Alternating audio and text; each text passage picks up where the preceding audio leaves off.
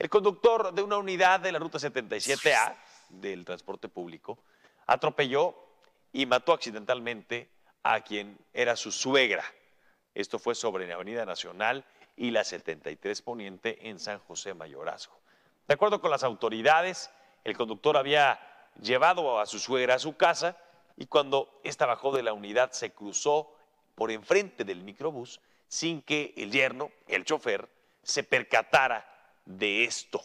Al lugar arribaron elementos de emergencia quienes brindaron los primeros auxilios a la mujer de 73 años, quien lamentablemente ya no contaba con signos vitales. Es una historia de verdad de ver para creer. Es increíble lo que ha sucedido, que le pasara con un familiar. Pero esto, queridos amigos, lo sabemos, ha pasado en otras historias. El transporte público es un servicio para las personas. La obligación de quien lo brinda es cerciorarse de que los pasajeros estén a salvo no nada más cuando estén arriba, sino cuando bajan.